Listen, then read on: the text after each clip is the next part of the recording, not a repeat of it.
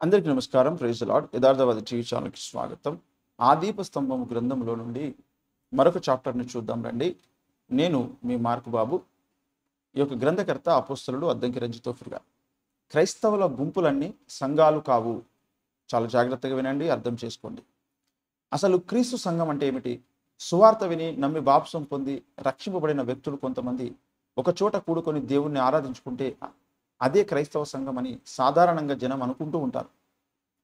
నలుగురు కార్మికులు కార్మికులు కలిస్తే కార్మిక సంఘం అవుతుంది పది మంది స్త్రీలు కలిస్తే అది మహిళా సంఘం అవుతుంది. కానీ పది మంది క్రైస్తవులు కలిసి ఉన్నందు కలుసుకున్నదల్లా క్రీస్తు సంఘం కాదు.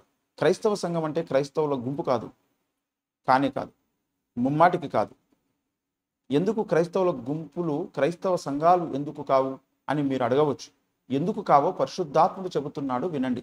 మనం ఇల్లు కట్టాలనుకొని ఒక స్థలాన్ని కొని ఆ ఇంటి నిర్మాణానికి కావలసిన ఇటుకలు సిమెంటు బస్తాలు కలప ఇనుప చువ్వలు గ్రనైట్ రాళ్ళు ఇసుక అన్నీ ఆ స్థలంలో కుప్పగా పోసాం అనుకోండి. ఆ దారిన వెళ్తున్న వాళ్ళు ఆగి ఆ కుప్పను చూసి ఆహా ఎంత చక్కని ఇల్లు అని మెచ్చుకుంటారా? మెచ్చుకోరు. అసలు దాన్ని ఇల్లు అని ఎవ్వరు అనరు కదా. ఏం? ఎందుకనరు? ఒక ఇంటిలో ఉండవలసిన సరుకులన్నీ ఏదో ఒక తక్కువ ఏది తక్కువ కాకుండా ఆ కుప్పలో ఉన్నాయి కదా. అన్ని సరుకులు ఉన్నప్పుడు దాన్ని ఇల్లు అని ఎందుకనరు? జవాబు మీకు తెలుసు. కట్టబడిన ఇంటిలో ఎన్ని సరుకులు ఉంటాయో అవన్నీ ఇక్కడ ఉన్నాయి కానీ అందులో మనుషులు నివసించడానికి వీలు లేదు. అది మనుషులకు నివాసయోగ్యంగా లేదు.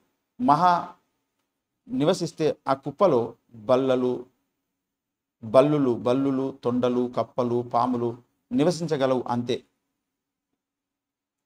మనుషులు నివసించాలి అంటే అన్ని సరుకులు ఉంటే చాలదు. వాటిని ఒక క్రమ పద్ధతిలో పేర్చి అమర్చి దేని స్థానంలో దాన్ని ఉంచి సరైన ఆకృతిలోకి పదార్థాలను అమర్చాలి. అప్పుడు అది మనుషులకు నివాస యోగ్యం అవుతుంది అప్పుడే దాన్ని ఇల్లు అని ఎవరైనా అంటారు. ఒక రాళ్ళ కుప్ప ఇల్లు ఎందుకు కాదో విశ్వాసుల గుంపు కూడా అందుకే సంఘం కాదు. అది సజీవ రాళ్ళ కుప్ప అవుతుంది అంతే. ఇల్లు కట్టాలంటే రాళ్ళు ఇటుకలు సిమెంట్ ఒక చోట కుప్పగా పోయాల్సిందే. సరుకులు సమకూర్చుకోకుండా ఇట్టి నిర్మాణం ప్రారంభం కాదు. కానీ సరుకు సమకూర్చుకున్నంత మాత్రాన గృహ నిర్మాణం జరిగినట్టు కాదు. సరిగ్గా అదేవిధంగా స్వార్థ ప్రకటించి నమ్మిన వాళ్ళకి నీటిలో బాప్తిస్మాలు ఇచ్చి సజీవరాలను ఒకచోట సమకూర్చుకోకుండా క్రైస్తవ సంఘ నిర్మాణం అసలు ప్రారంభమే కాదు. అంత మాత్రాన సజీవరాలైన విశ్వాసులు ఒకచోట సమావేశం అయినంత మాత్రాన దాన్ని క్రీస్తు సంఘం అనకూడదు. ఆ సజీవరాలను ఒక క్రమ పద్ధతిలో పేర్చి అమర్చి కట్టిన తర్వాతే ఆ గుంపు దేవునికి నివాసయోగ్యం అవుతుంది దేవునికి నివాసయోగ్యం అయినప్పుడే అది దేవుని సంఘం లేక క్రీస్తు సంఘం అవుతుంది. దేవునికి నివాసయోగ్యం కావాలంటే ప్రప్రథమ అవసరత అర్హత ఏమిటంటే ఆ సంఘం దేవుడు చెప్పిన నమూనా ప్రకారం కట్టబడాలి. కొండ మీద నీకు కనుపరచబడిన వాటి రూపము చొప్పున వాటిని చేయుటకు జాగ్రత్త పడుము. నిర్గమకాండం ఇరవై ఐదు అధ్యాయం నలభై వచనంలో చూస్తాం. అని ప్రత్యక్ష గుడార ఉపకరణాల విషయంలో దేవుడు మోషేను హెచ్చరించాడు. నేను నీకు కనపరచు విధముగా మందిరం యొక్క ఆ రూపమును దాని ఉపకరణములన్నిటిని రూపమును నిర్మింపవలను అని. నిర్గమకాండం ఇరవై ఐదవ అధ్యాయం తొమ్మిదవ వచనంలో మనం చూస్తాం. ఇలా అని ఆదేశించాడు సర్వశక్తి గల దేవుడు. ఆ తరువాత ఏం జరిగింది? మోషే ఆ ప్రకారము చేసెను. యహోవా అతనికి ఆజ్ఞాపించిన వాటన్నిటిని చేసెను. అలాగుననే చేశాను నిర్గమకాండం నలభై అధ్యాయం పదహారు వచనంలో మనం చూడొచ్చు. మోషే దేవుని ఇల్లంతటి నమ్మకమైన వాడు. సంఖ్యాకాండం పన్నెండవ అధ్యాయం రెండవ వచనంలో హెబ్రి మూడు ఐదులో మోషే ప్రత్యక్ష గుడారాన్ని దేవుడు చెప్పినట్టే నిర్మించాడు. ఆ గుడారం యొక్క రూపాన్ని దాని ఉపకరణాలన్నింటినీ ఉపకరణాలన్నిటి రూపాన్ని అచ్చు గుద్దినట్టు దేవుడు సినాయి కొండ మీద చూపించిన నమూనా ప్రకారమే చేశాడు మోషే. ఎక్కడ మోస తన సొంత జ్ఞానాన్ని ఉపయోగించలేదు? దేవుడు చెప్పనిది ఏది మోస చేయలేదు? దేవుడు ఆజ్ఞాపించినది ఏది మోస చేయకుండా వదలలేదు.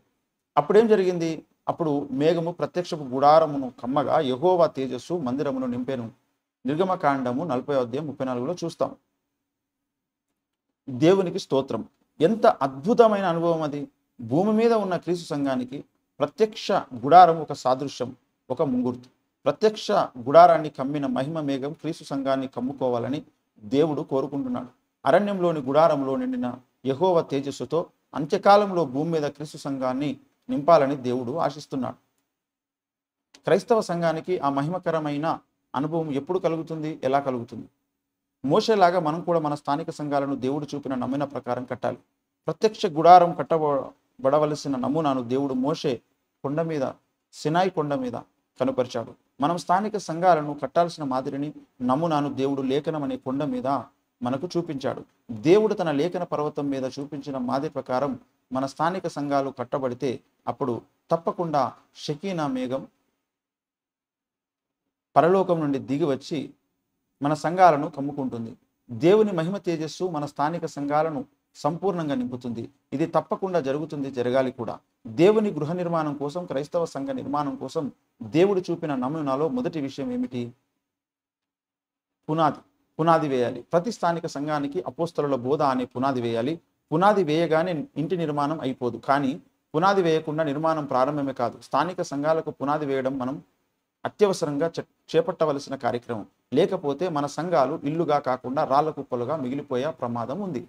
అందుచేత అనవసర వాదోపవాదాలతో కాలయాపన చేయకుండా మన పునాదులను సరిగా వేసుకోవడానికి నడుం బిగించి పూనుకుందాం రండి.